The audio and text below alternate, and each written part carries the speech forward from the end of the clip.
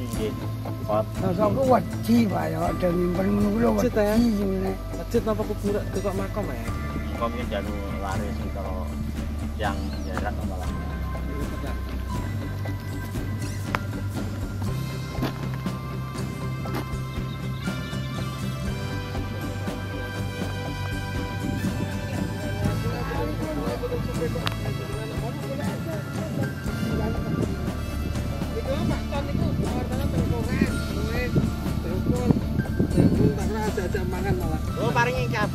Dibel Pak.